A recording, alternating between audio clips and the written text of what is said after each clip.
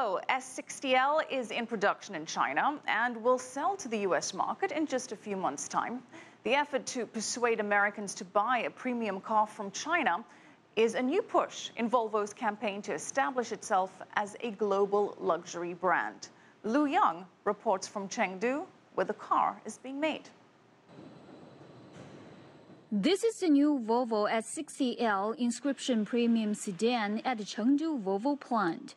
It will soon be loaded onto car carriers for shipment across the Pacific and finally rolled off in Los Angeles in August this year.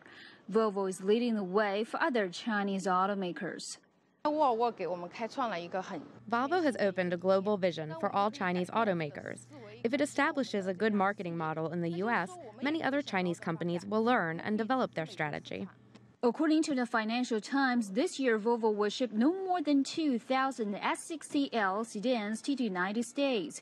With that number rising to about 5,000 over the next few years, the majority of Volvo cars sold in America will continue to be exported from its plants in Sweden and Belgium, or will be built at a new factory it intends to open in the United States. Volvo is not an indigenous Chinese brand, but is fully Chinese owned since 2010. For many Chinese automakers, exporting Chinese produced mainstream cars to the markets of the United States and other countries has been a long term goal. Experts say it might be a window of opportunities for many other Chinese automakers to learn a model or strategy and then make breakthroughs for their own products. Professor Huang says China has gradually evolved from a supplier of low-cost, labor-intensive products. What we need now is the software, such as good enterprise culture and management. The technology is much easier to achieve for many Chinese companies.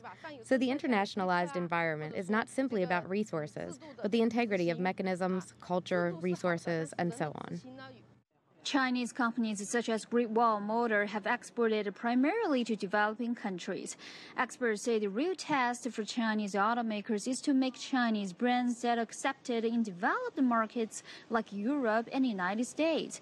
As China's industrial transformation continues, it may not be long before that happens.